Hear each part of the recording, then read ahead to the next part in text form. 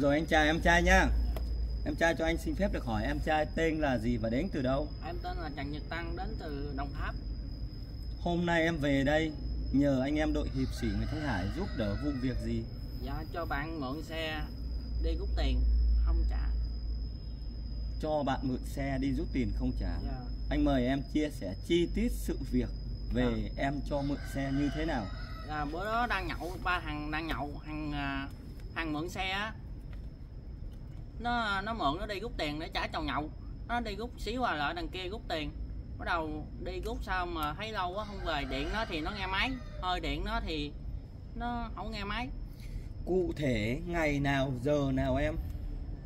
Dạ là tập tối là 20 giờ 20 giờ ờ, tối ngày 20 tháng 5 2023 Nhậu ở địa điểm nào? Ở ờ, Bình An Dĩ An Bình Dương phường Bình An Dĩ An Bình Dương. Tức là tối dạ. 20 giờ ngày 20 dạ. tháng 5 dạ. Em và ba người bạn đi nhậu Hay là hai người? Em bạn em với nó. Là ba người bạn đi nhậu. Dạ. Nhậu tại quán lúc đấy đã nhậu xong chưa? Dạ đang nhậu. Đang nhậu. Đang nhậu mà ờ, nó đi rút tiền nó để ờ, trả chồng nhậu này. Cái cuộc nhậu đấy ai là người chủ động mời đi? Thằng thằng bạn em với nó Tức là bạn em với nó là chủ động mời em đi. Dạ. Và sau đấy thì đang nhậu Thì cái người lấy xe đấy Tên là gì? Tên là Hoàng Quy Huy ha Tức là Huy. Quy Quy hay là Huy? Quy. Quy ha. Dạ. Tức là Quy mượn ngỏ lời mượn xe của Dạ. em Đi rút tiền. Dạ. Vậy hai người bạn đấy đến với em là đi bằng phương tiện gì? Dạ đi bộ anh. À hai người đấy đi bộ. Cái bạn Quy đó là ở đâu? Bạn Quy quê ở Bạc Liêu anh Mình quen bạn đấy lâu chưa? Mới quen có mấy ngày thôi em với thằng bạn em quen mấy ngày thôi. Quen cụ thể mấy ngày em? Ba ngày bốn ngày anh. Trong trường hợp nào? Trong trường hợp đi nhậu mà ờ, gặp nhau rồi ờ,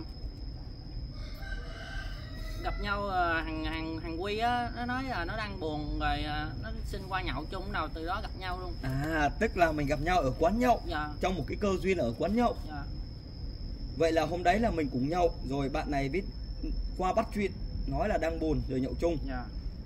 Hôm đầu tiên mình đi nhậu bao nhiêu người? Dạ bốn người anh em ba thằng bạn em với nó nhập chung là bốn người. Ừ. mà trong khi đó là em đi sau bạn em đi trước. Em lại sau á. Ừ. Vậy là cái mối quan hệ của bạn Quy với cái bạn của em đó là quen lâu chưa? Dạ mới quen luôn cũng, Cũng quen mới quen em. luôn. dạ. Ồ. Vậy là chỉ có mấy ngày trời thôi. Dạ Mà em dám đưa xe cho người ta đi rút tiền. Tại bạn mượn nó đi xíu trả trong nhậu đó em cũng tin bạn rồi Hôm đấy em đi nhậu em có mang tiền không? Dạ không anh. Tại vì bạn mời nên mình không mang ha. Dạ tại nói là bạn và thằng bạn em thằng phi á về sóc trăng ờ, về luôn. À chia tay. Dạ. Xe của em là xe gì? Vario 150 màu trắng biển số là 66K1 50093 anh. Ai là người chủ sở hữu? Em là người sở hữu đứng tên luôn Em mua xe đấy lâu chưa? Dạ mua được ờ, năm mấy rồi anh? Một năm mấy ha, khi mình mua là mình mua tiền mặt hay trả góp? Tiền mặt. Tiền mặt ha. Em hiện tại làm công việc gì? Em làm công nhân anh.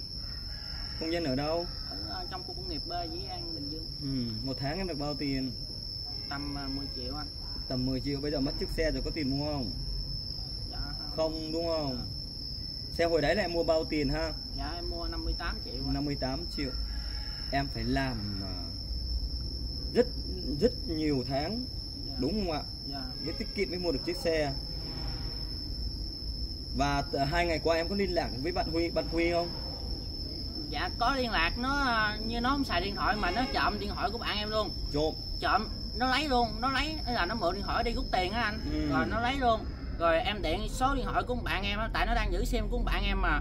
Điện ờ, mới đầu là đổ chuông bắt đầu thay bao hôm qua điện cũng đổ chuông nó alo cái thay bao.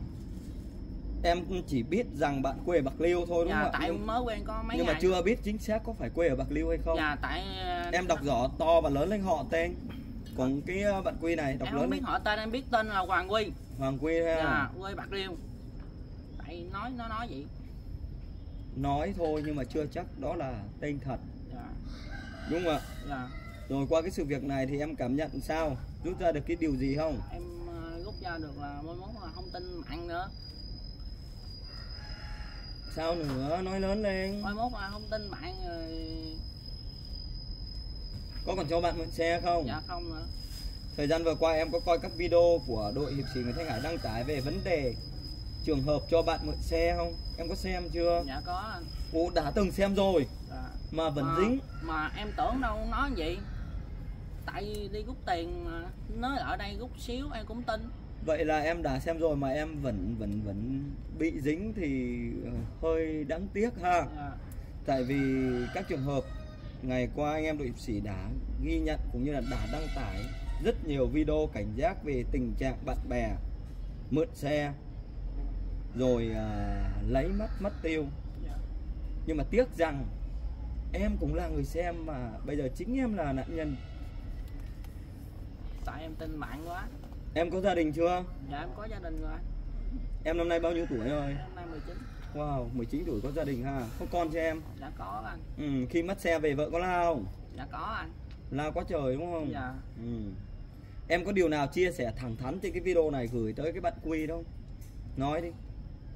Em, cho bạn cơ hội hai ngày. Em nếu không mang xe về trả thì mọi chuyện bạn sẽ chịu trách nhiệm trước pháp luật. Dạ. nói to lên lớn lên em ờ, có gửi lời đến ờ, Hoàng Huy. Ờ, mượn xe tôi trả hai hai ngày. Tôi cho bạn cơ hội hai ngày. bạn cơ cơ hội hai ngày. Nếu không mà trả thì bạn sẽ chịu trước pháp luật. Thời gian vừa qua, đội sĩ Nguyễn Thanh Hải đã ghi nhận rất nhiều vụ việc y chang như em. Nên em hy vọng rằng cái video này khi mà đăng tải lên, rất mong rằng tất cả các cô chú anh chị hãy cùng chia sẻ lan tỏa mạnh mẽ. Thứ nhất là để cảnh giác cảnh tỉnh về các chiêu trò của các à, đối tượng lợi dụng lòng tin của bạn mượn xe để mà chiếm đoạt. Em một điều nữa nào nữa em có cảnh giác tới tất cả mọi người qua cái câu chuyện của em không? dạ